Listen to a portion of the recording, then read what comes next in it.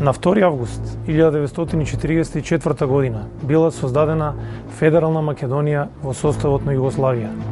Очекувањата на македонскиот народ од создавањето на новата држава биле огромни. Најголемиот дел од македонците очекувале целосно решавање на македонското прашање. На второто седание на АСНОМ кон крајот на 1944 година, присуството на бројни делегации од Пиринска и од Егејска Македонија ги подгревале надежите за интегрално решавање на македонското прашање. Но Централната југословенска власт и комунистичките власти во Македонија остро се спротивставувале на таквата идеја. За нив целосното решавање на македонското прашање било неприфатлива опција. Затоа, уште во првите години од создавањето на државата, се создало големо незадоволство кај дел од македонската интелигенција од таквиот развој на настаните уште во 1945, особено 1946 година, започнале да се создаваат илегални групи кои што се бореле за создавање на самостојна македонска држава во незините етнички и географски граници. Така, во 1946 година била формирана и организацијата ВМРО Самостојна демократска република Македонија под протекторат на Америка.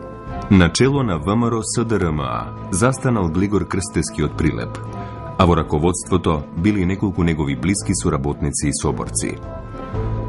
Ова илегална македонска организација во почетокот на своето действување се ограничила на Прилеп и Прилепско, каде имала најголем број на своји приврзаници. Активни членови на ВМРО СДРМА a vključeni od Krsteski kako njegovi najbliski sorabotnici, bile Blagoja Stojkovski Bajo, Kiril Kostovski Kirca, Kostadin Smičkovski, Ljuben Kostovski Čakra, Pristojana Kioski, Borka Ilioski, Jordan Nikolovski, Miloš Risteski, Acu i Koca Aleksovski, Blaga Đukeska, Blagoja Petreski Bučko, Kočo Kerpičovski, Kire Rasolkoski, Angele Grašeski, Aco Spirkovski, Ilija Andonovčento, Владимир Поповски, Александар Георгиевски и Олга Петреска. Дека единствена организација по класична смисла на организација, тоа беше нашата организација, која што се разбира да доби и друго име. правда. Да. Но основата беше таа. Ние го одложивме таа борба да ја истакнуваме за самостојна Македонија. Само го одложивме затоа што немаше никакви услови, видовме, видов, никакви услови за една таква борба. Сиве овие групи, јас сум ги проследил, се групи, не се организација. Организација е да, вистина, да имаш статут, да имаш програма, да имаш членство, треба да имаш... Ние имавме и програма, и да, така да речам статут, дали правилник на внесување вино имате се, и немам јас. Еден од нашите... Значи Мрежата на ВМРО СДРМА била откриена од страна на органите на власта во јуни 1947 година, при што на 8 септември 1947 година бил организиран судски процес против неколку незини раководители. Окружниот суд во Битола го осудил Глигор Крстески на три години престој во воспитно поправен дом, Костадин Смичковски на две години, Благој Стојковски бил осуден на една година и шест месеци присилна работа и Александар Георгиевски на една година присилна работа и лишување од слобода. Ваквите судски пресуди биле поради фактот што поголемиот дел од членовите на ВМРО СДРМА биле момчиња на возраст од 15 до 18 години, и тие биле повозрасти, казните на македонската комунистичка власт сигурно ќе биле уште поригорозни. Обвинителните акти на сите членови на организацијата биле речиси идентични и ги обвинуваат за наводна поврзаност со ВМРО на Ванчо Михајлов. Делото за кое се обвинува Глигор Крстески е непријателски расположен према друштвеното и државното редување на Федеративна Народна Република Југославија и Народна Република Македонија, а со цел да се бори против истото, да е со помош на вооружена странска интервенција Народна република Македонија одцепи од ФНР-ја, да се уништи народната власт, братството и единството на југословенските народи и создаде некаква си самостојателна демократска република Македонија под покровителство на Америка. Суровите мерки во работните логори не ги поколебале најголемиот дел од рководителите на ВМРО СДРМА. Тие останале доследни на своите принципи Еден од основачите на ВМРО СДРМА, Глигор Крстески, по завршувањето на судскиот процес, поминал низ вистинска Голгота. По затворските келии во прилепи Битола, во спровод на милиција, преку затворите во Скопје, Ниш, Белград, Славонски Брод и Загреб, бил испратен во казнено поправниот дом за малолетници во грачето Глина, каде требало да помине 10 месеци. И покрај тоа што бил малолетно момче, Крстески бил подложен на санкции кои биле извршувани врз полнолетни затвореници, кои намерно биле донесени од други југословенски затвори. Во една ваква ситуација, на властите не им помогнали обвинувањата дека членовите на оваа организација и раководителите се Ванчо Михајловисти, затоа што на површина излегувале сосема други факти – опасноста од ширењето на идеите и кај голем дел од средношколската младина, па и тие што биле членови на подмладоците на комунистичката партија, на вистина ги алармирале комунистичките власти и во Федерална Македонија и во Југославија. Тука почнавеќи гимназијата и учителската школа беа едни од двигателите на таа интелектуална млада снага во градот Штип. Допревме до меѓусебно со здружување. Еден ден доаѓа Јордан Мијалков кај мене со еден негов близок човек и ми рече дека ќе треба да се видиме да поразговараме малку повеќе, бидејќи гледам дека овде во учителската школа има некое раздвижување на национален план.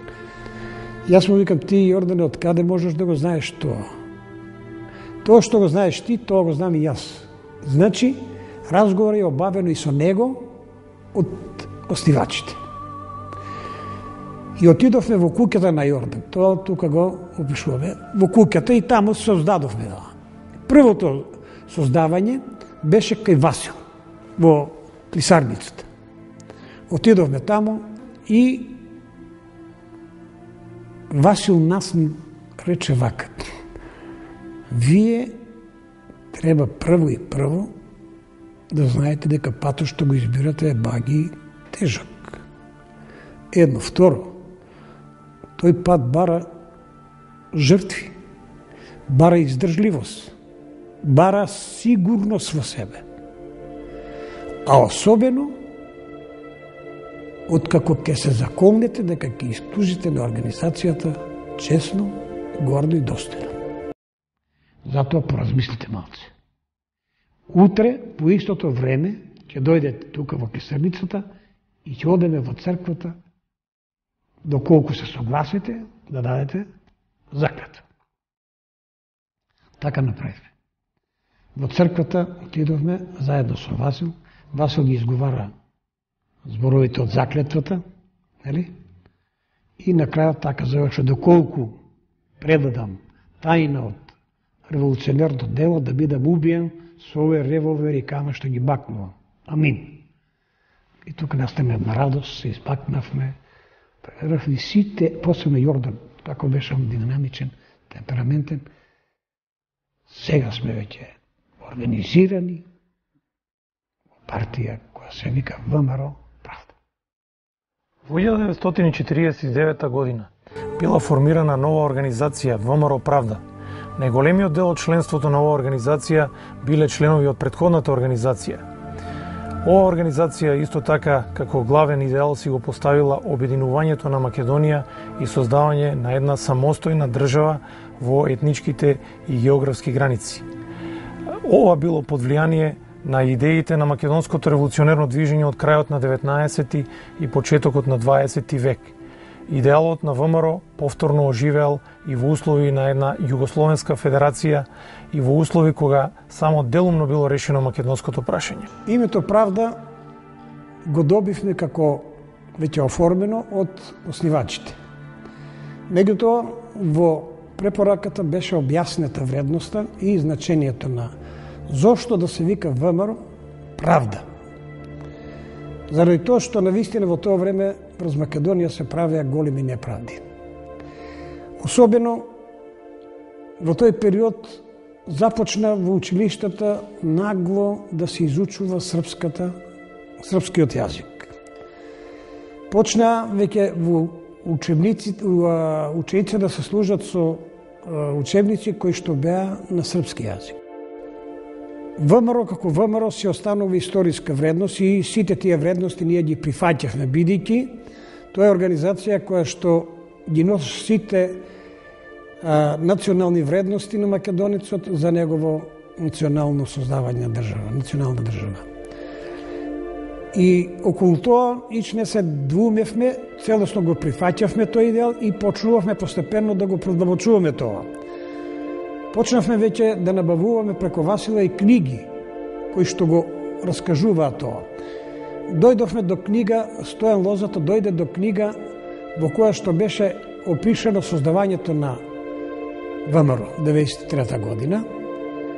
Дојдовме до книга која што зборуваше за спомените на убиството на Гоце Делчев од Јаворов и постепено веќе ние навлегувавме во таа содржина повеќе и што е најбитно.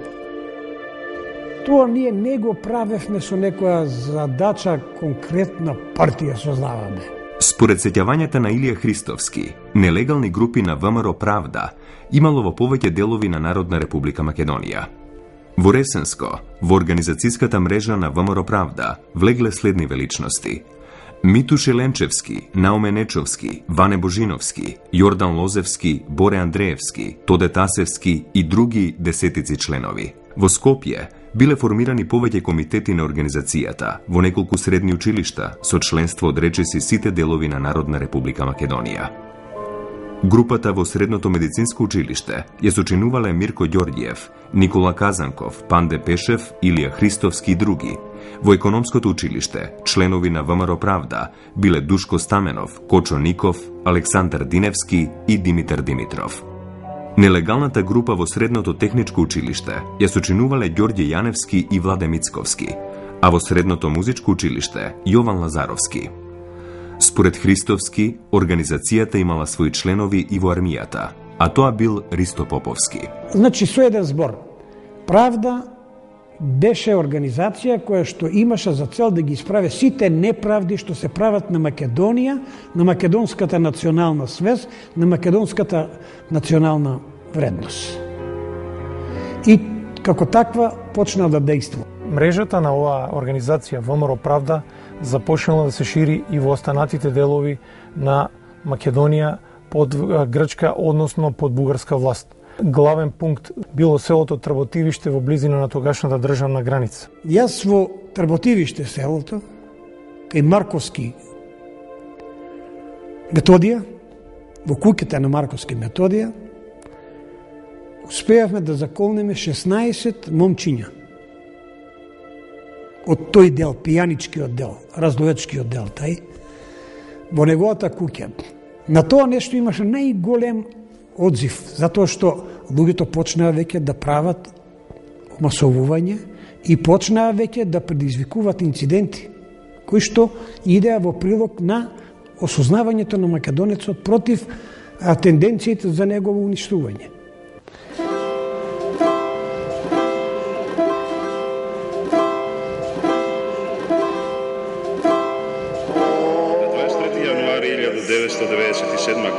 Болницата во Гевгелија почина Константин Калеников.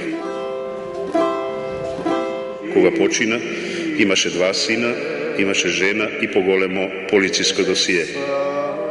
Наредниот ден на неговиот погреб на градските гробишта во Гевгелија, покрај најблиските роднините и пријателите, присуствуваа и двајца службеници од Оделението за државна безбедност во полицијата. Агентите по налог за евиденција ги снимаа пријателите на починатиот заведени под графата македонски националисти. Тоа се случи на 24 јануари 1997 година. Три години подоцна неговата сопруга Љубица го доби полициското досие. Првпат во својот живот го виде непознатото име на својот маж. Таа не знаеше ништо за овие работи во полицијата.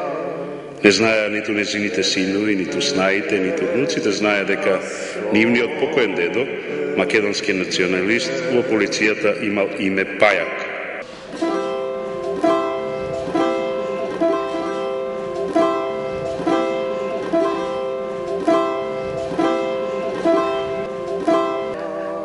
Кочо беше едно момче од најнапредните во гимназија, во, во Трговска академија. Тогаш се викаше Трговска академија, сега Средно економско училиште Борис Кидрич. Потоа он меѓу најнапредните и се зачлени во оваа организацијата на ВМРО Правда. Потоа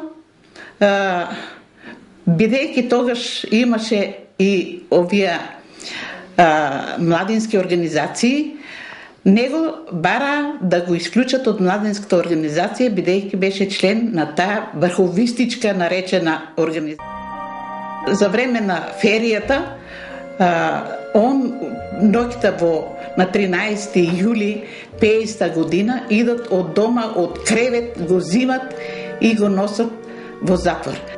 Тоа значи имал он само 17 години и един месец. На него му се водише досие од почетокот. И додека беше во војската, он имаше досие.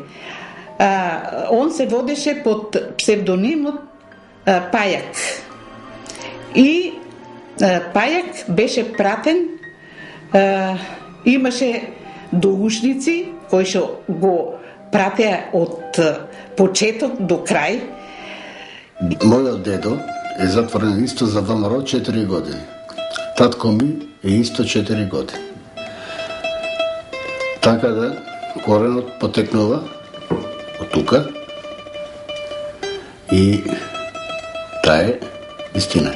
Добар, многу добар родител за фамилијата. Добар према друштвото, поштен, а се осекеше во самата фамилија, иако не збореше дека е прогонуван на нас децата, да не не малтретира, да не не обтоварува со тоа, го осекевме ние тоа како деца, кога требаше да се запослуваме.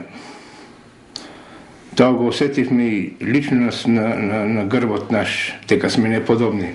Кај да конкуриравме, не одбива, како неподобни, како деца на, на, на затвореник, што се сакал може би малку повеќе Македонија од некои други македонци.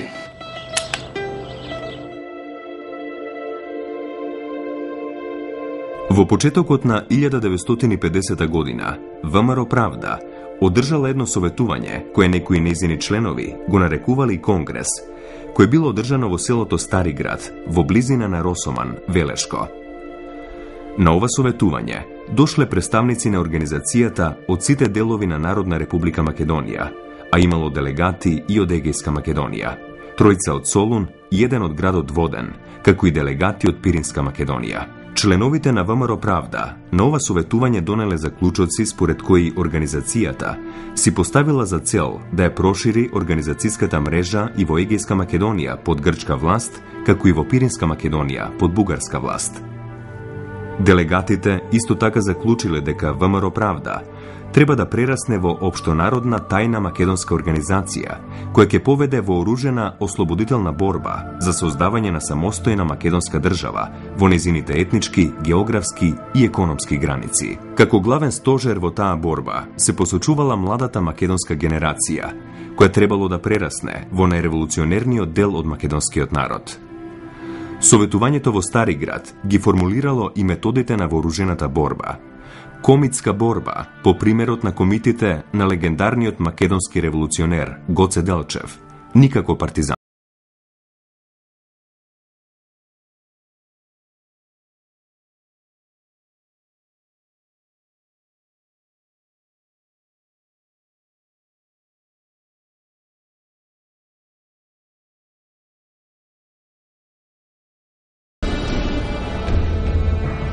Во прокламираната борба за ослободување на Македонија.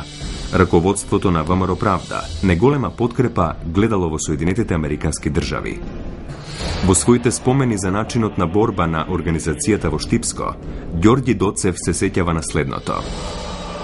Во тоа време доаѓа опата и пренесува да се донесе одлука сите организирани во ВМРО Правда, во учителската школа за 10 до 15 дена да излезат на Плачковица, каде што се веќе организирани луѓе од кои ќе се добие оружје, ќе се организираат одреди, бригади, кои треба да се борат за обединување на Македонија, а дека веќе се воспоставени контакти со Пиринска и Егејска Македонија. Според тој план, нашата група требаше да оди на Егејскиот дел, на Кукуш. Поради е, репресивните мерки на грчките, односно бугарските безбедносни служби, многу брзо била растурена организацијската мрежа на ВМРО Правда во овие делови на Македонија.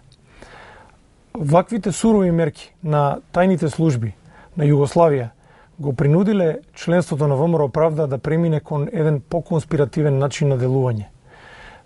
Тоа тоа пред се било заради опасноста од откривање на мрежата на оваа илегална македонска организација.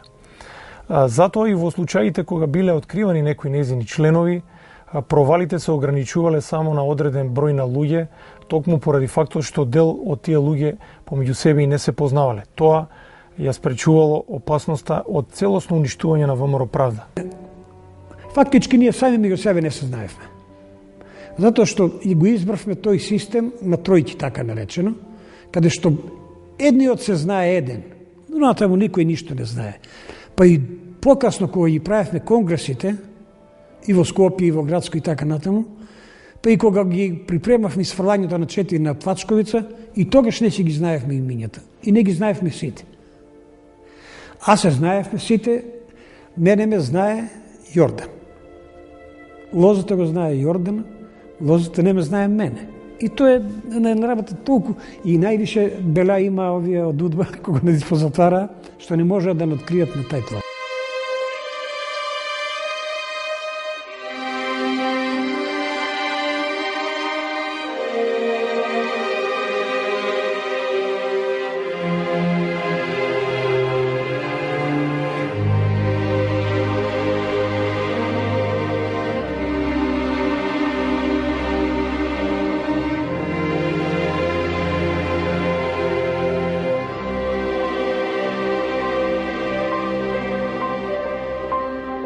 Може слободно да се констатира дека поради ваквата констелација на односите и поради ваквата поставеност на ВМРО Правда, таа успела да ги преживее сите репресалии и сите мерки на тајните служби на Југославија и да преживее како организација дури до доцните 80-ти години на минатиот век. За податок само нека послужи фактот дека во период од 10 години од средината на 70-тите до средината на 80-тите години биле фатени и осудени само неколкумина членови на оваа организација.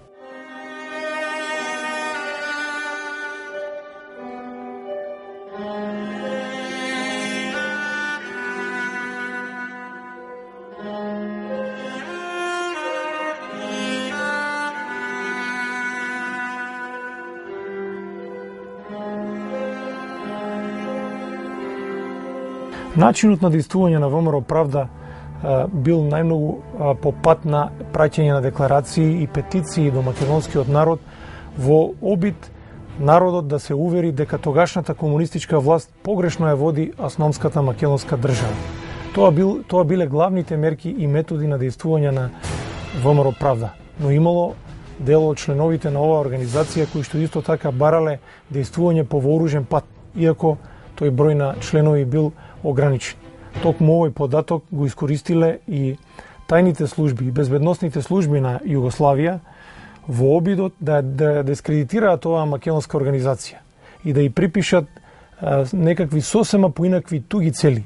Неспособноста на УДБА и на сите тие крлежи што работеа во таа УДБА против интересите на Македонија и македонскиот народ, почнаа да измислуваат работи методите што ги преминуваа беа неверојатно драстични. Нив ги интересираше многу а, тработивиште, ги интересираше Пробиштип, ги интересираше Гевгелиско Богородица, бидејќи таму најголем број на луѓе веќе ги прифаќаат тие идеи. Они имат сигнали, меѓутоа немаат документи со кои што може да потврдат дека тие деца учествуваат во партијата, организацијата ВМРО Правда и дека ги организирал нив тај и тај. И сега на истрагата применува то е, електрошокови. Тие електрошокови беа ужасни. Од нив не се умира, ама многу лесно се предава тајната. Јас ќе го кажам за мене. Не сум разговарал со другите. Тоа е едно малечко собиче вака, темно е целото, само има две црвени сијалички. И сега ти вика, јас ке те прашувам, ти ќе одговара само со да или не. И сега почнува. Тој изгасна црвените сиелички и се направат тие две, като оди врн, тука ти поминат преку ова, паднеш ти во безсознание и он го поставува прашањето. Е тоа се вака, кога ми го постави прашањето, кажи ги имињата, едно, две име, кажи имаше ли законување во трботилиште. Во мене, видите се, тоа секундарни игри, ја донесувам одлука више готово, ќе, ќе изустувам, да, види, ќе изустувам, тоа нешто победи силно во мене, ама Ѓорги така умираше, да, не бивај предавник мајка. И не го кажав тоа. Добро, што не го кажеш, пагаш тоа тоа не со вода, масажи да тоа живеат. Едно 15-20 минути така. Тоа тука масира, доаѓа специјално тие увежбани се и вода става тука по по, по така нател. И ми вика мене кога се осозна. Ова у пролече се одиграва ова. Ова политичка станица пролече. Тај Свето Митрски го правеше тој тај бабам. Готово е, бе, Ѓорди, готово. А го доведо и Чамински, Стојан. Го доведо... Знаете зашто го доведо него? Затоа што со Чамински јас сум соученик. Учителската школа заедно учехме и во една клупа седевме. И он кај мене требаше на емотивен план да делува. Аде, ги гледам. И гледа се, ама. И ги става раците, вака, гледаш, каде? Едно до друго ли се? Да. Е се, о, се заклопува. Се, така се признати. Што малку си ме разплакала. Што сум признал да стоја, не кажеш? Каже еве, кажи, то и то, трбоди. Ја преди се не сум бил во трбатилиште. А среќи и тај Методија не призна ништо. И не го претрепале таму. И, добро, ќе видиме на судењето. Ја не верувам дека ќе допре до судење сега тоа време го слушал тоа. Има тони тие микрофони горе го слушам. То сето овде што се случува, тамо го слуша тони, тај Митер, Свето Митревски. Гад беше еден доаѓа од таму на лутен. Зашто јас сум се и натил? Не сум признал дека сум признал. А не оште ли не признаваш ти бе го ведо на едно грам глава, ти од джидо ми ја тресна. И поново, па, доле. Па, таму, така. И се разбудувам, е сега, се јасно ти дека ти е све јасно. Јасно ми. Што ти е јасно? Тоа што ти е јасно теби, тоа ми е на мене. Дека на мене не ми е јасно ништо, па и на мене не ми е јасно. Абе ти нас го ти не прават, па ќотеци. Тоа. Тоа се си пишува во пресудата, се пишува и во истрагата, ја го имам истражниот материјал. Цел. Значи, судењето наше траеше 27 дена, од кои што 21 ден активно и не судеа секогаш од 8 саатот до 2, од 2 не пуштаа да идеме да ручаме и од 4 до 8 саат. Тоа се движеше постојано така. Е сега големината кај нас беше што сите ние, и ово да го кажам, па после вие може тоа ќе... Видите, првиот ден доаѓаме на судењето, а више не се знае самиот не, не се знае самиот затоа што испаѓаш од Тилија, се возеш комбите возат, доваѓаш у судот, те затварат во кафес, да немаш контакт, те вадат од кафезот, те носат во судницата, а не судеа во свечената сала, озвучена целата, и внатрешно, и надворешно, микрофони, ечата. Да. И Кога влегуваш внатре, не смееш да погледнеш внатре во земјата гледаш. Не смееш да гледаш. И сега замислите ние околу 9 месеци, 10 у притвор бевме, по Кели, тоа со шутка, и доаѓа сега меѓу народ. Секајам се кога сега моите беа во првиот ред. Сестра и невестата така. И не само мои, другите. И на Панда, и на Дина, и на... И само чув едно. Леле. Тоа леле, повеќе ме ми нанесе бол, отколку се оно што го претрпе во. И не ставија, одма на секого, со секого автомат тука да до него полицајецот.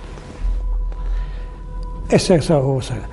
Сега, јавниот овај Павел Манев, председател на кривичниот совет, проширен кривичен совет со тројца овие како се вика овие што се протници резервни и двојца суди и резервни значи чекат они валјда да испоизумре ние судејќи не и го чита тоа и вика вака а, застапник на обвинението е јавниот обвинител а, Станковиќ Божидар. И толкова го ми го рече тоа Божидар Станковиќ, кој да го удели некој. Знаеш. Го прочита тоа. Павел Манев. И ја станувам господин така. Ги викавме господин ше тогај нема да господине председател. Јас барам да биде сменет јавниот обвинител Божидар Станковиќ Петре Тодиш, ти каква штама на тоа. Леле, вие моите, нашите тука почнеат да пискат. Само вика, шо ти треба тоа, Ѓорги дотрча, седи бе тука. Седи. Павел Мане се збуни и он. Повтору ще еднаш, обвинет Ордев, Ордев, под Ордев сум суден Обвинет Ордев, повтору ще еднаш, повтору. Уште еднаш, повторува. Кога ја го потврдив тоа, сега прашува, ги прашува и другите дали го прифаќат мојот предлог. Кој сме да не го прифат? До мене панде беше. Газам го ти, јас да го прифаќам, прифаќам и Дончо и така тие сите. Седум души го прифатија и сега го даде ова паузата, после два дена доваѓаме и чита Павел Марија. Вика се прифаќа предлогот на обвинетиот Ордев, за јавен обвинител се назначува Марковски Бундалевски Марко од Галичник еден. Па видите како ми олеснала на душата, а не зашто, затоа што тај Бундалевски Марко, за да го проуче овај материјал што го има он, треба му време. А он да дојде на него, ние можеме да го играеме него, отколку А неверојатно имавме уедначена одбрана. И сега таа уедначена одбрана предизвика малку сомнеш кај нифа, посебно кај Марко. И Марко Будалевски вика другар председател на кривичен совет. Јас мислам дека обвинетите си имат договарано. Како бе договарано? Павел му вика. Па така си имат договарано. Тоа го пишува во пресудите и во онија записниците таму. И сега он гледа, се чуде. Добро, вие во Тилија ли сте, бе? Во Тилија се. Ги пошут тие што не обезбедуваат. После 27 дена ни изрекуваат пресуда. Ѓорги Доцев мора да се осудува на една и пол година. На 16 август 1950 година Окружниот суд во Скопје им изрекол драконски казни, нарече сите уапсени членови на раководството на ВМРО Правда, освен на малолетните членови, кои имале известни олеснителни околности. Љубен Костоски Чакре и Дане Поповски биле осудени на 5 години затвор со присилна работа и губење на граѓанските права, а Илија Христовски бил осуден на 3,5 години затвор со губење на граѓанските права во период од една година. Идеологот на организацијата, Глигор Крстески, без судење бил одведен во логорот под планината Кајмакчалан, а во зимата 1950-51 година бил преместен да работи на прекопување на мелиоративни канали кај струмичкото Моноспитовско блато. Во обвинителните акти на сите уапсени членови стоеле истите фрази кои судовите, под инструкции на власта, ги донесувале за сите обвинети за идеите на ВМРО и независна македонска држава. Обвинението врз Илија Христовски било следно. Виновен е, затоа што по иницијатива на прво обвинетиот Чакровски, а под раководство на обвинетите Поповски Дане и Христовски Илчо, кон крајот на 1949 година, створиле противнародна организација, наречена ВМРО Правда, која имала за цел да води оружена борба против уставниот поредок на Федеративна Народна Република Југославија, со стварање Обединета автономна Македонија. Обичниот македонски народ, па и голем дел од македонската интелигенција успеале во името на оваа организација и во името на ВМРО СДРМ да препознаат една автохтона македонска организација поставена на македонска национална платформа. Наводното бугарофилство и поврзување со Ванчо Михајлов немало воопшто никаква основа затоа што најголемиот дел од членовите на македонски организации воопшто ниту го познавале Ванчо Михајлов, ниту имале било какви контакти. Во едни такви услови безбедносните служби настојувале да ја компрометираат организацијата со фактот што им било подметнувано оружје на дел од членовите и во тој случај тие биле осудувани на монтираните судски процеси на поголеми казни на затвор. Кон крајот на 50-тите и почетокот на 60-тите години, поради големиот број апсења, мрежата на ВМРО Правда значително се намалила. Во периодот од 1958 до 1969 година биле откриени неколку десетици илегални групи на ВМРО Правда во повеќе македонски градови: Скопје, Битола, Штип, Кавадарци, Прилеп, Струмица, Велес, Охрид и други.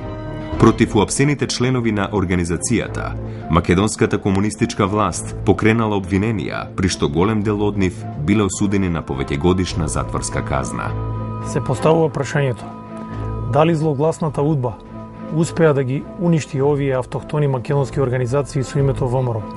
Одговорот е секако не. Најголемиот дел од членството на овие две македонски организации останало неоткриено. Голем дел од членството успеало да остане во илегала се до доцните 80 години на минатиот век, пред распаѓањето на Југословенската федерација. Идеалите на ВМРО Правда и ВМРО СДРМА се вградиле во создавањето на независната македонска држава. Сушност, тие со своите идеали се предвесници во создавањето на независна Македонија во 1991 година